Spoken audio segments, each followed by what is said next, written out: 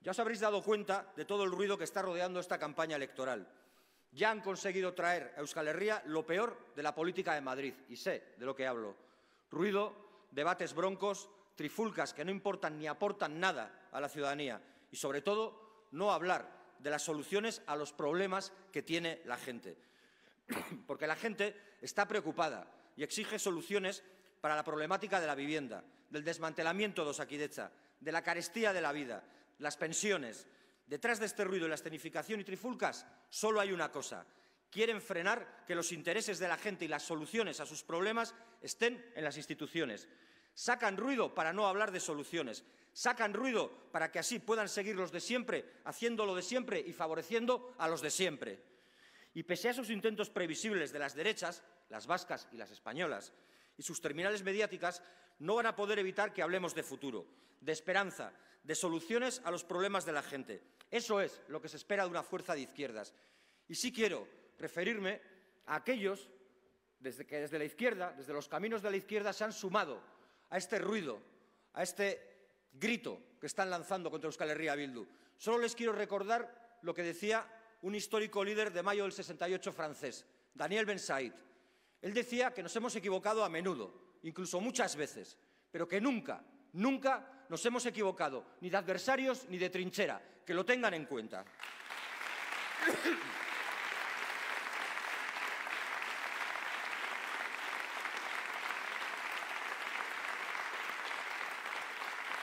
Porque, porque lo que ni cotiza es que en lo que queda de campaña electoral no vais a ver una lista con todas las personas vinculadas a partidos implicadas en casos de corrupción o haciendo trato de favor a familiares y amigos desde la Administración.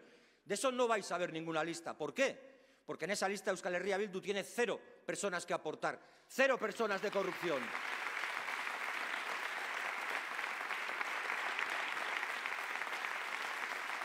Pero, pero como os decía, nosotros y nosotras estamos hoy aquí para hablar de futuro, del futuro que nos merecemos todos y todas, de un futuro que desde las instituciones y desde las calles, desde los ayuntamientos, la Diputación y desde las movilizaciones sostenidas del tejido popular vasco ponga fin a las injusticias y padecimientos que soportamos en el presente.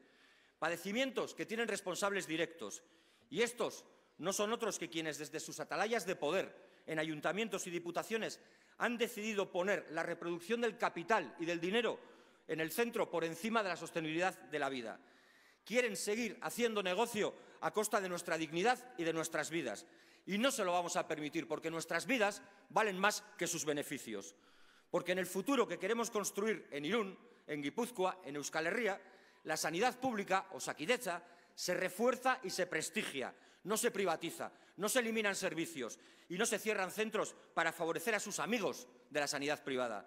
En el futuro que proponemos, las pensiones se defienden y se dignifican, para todos y para todas, las más altas y las más bajas, las no contributivas también, y las de viudedad también. Y junto a ellas, la protección social se refuerza para todos y para todas, para que nadie en nuestros pueblos y ciudades caiga en el precipicio de la exclusión. Eso es no dejar a nadie atrás. Eso es hacer política. Bien sabéis en Irún de qué hablo. Ahora que veis cómo el drama de la, inmigración también se asoma a vuestro pueblo, cuando veis cómo hay gente que se deja la vida en el Vidasoa por querer buscar algo tan lícito y tan justo como una vida digna, que abandonan sus hogares a miles de kilómetros para buscar el futuro que les han negado en su propia tierra. Y queremos traer un tiempo nuevo donde la precariedad laboral desaparezca de nuestras vidas y deje de amenazar el futuro de nuestros jóvenes para que no tengan así que abandonar el país porque aquí no les damos las oportunidades que tienen y porque solo podamos verles, si acaso, a través de un programa de Vascos por el Mundo para decirnos lo que añoran poder vivir entre su gente. Queremos, en definitiva, un país con ciudades y territorios comprometidos con la transición ecológica y con una apuesta clara por una industria tecnológica, por una industria innovadora y por una industria sostenible.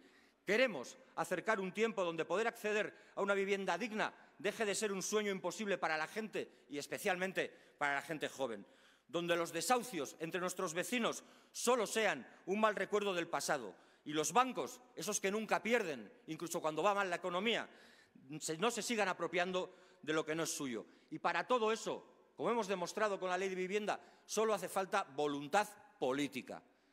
No, la palabra mágica no es invasión competencial, es voluntad política. La única invasión competencial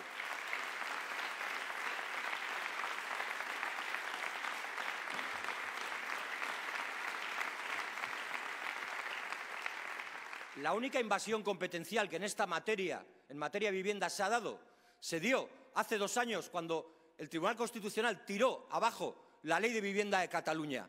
Y ahí, los que hoy hablan de invasión competencial, y sí, me refiero al PNV, utilizando su dicho, este de las setas y los Rolex, estaban a Rolex, a sus Rolex, porque no les importó.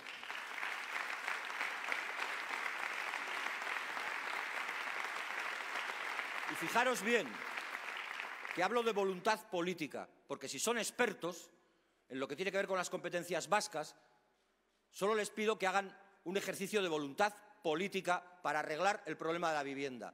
Porque negociar ya lo han hecho y lo harán siempre, que a veces quieren que lo olvidemos, pero ellos, el PNV, son los que han negociado con Felipe González, con José María Aznar, con Zapatero, con Rajoy y hasta ahora, y si pueden, con Feijó.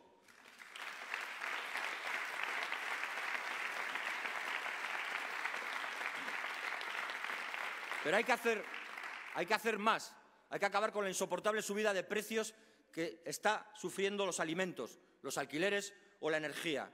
Porque mientras eso está pasando, mientras vemos como todo cada vez nos cuesta más, vemos también como los márgenes de beneficio de las grandes eléctricas, de los bancos y de las grandes cadenas de distribución de alimentos siguen engordando de manera escandalosa. Y nadie les quiere poner freno, incluso cuando se tiene competencia. Porque vuelvo otra vez, se trata de voluntad política. ¿Por qué en Guipúzcoa, por qué en Vizcaya, por qué en Araba no se está recaudando lo que se podría recaudar con el impuesto extraordinario a las eléctricas y a la banca? ¿Por qué? Porque falta voluntad política. ¿Y por qué? Porque gobierna el PNV.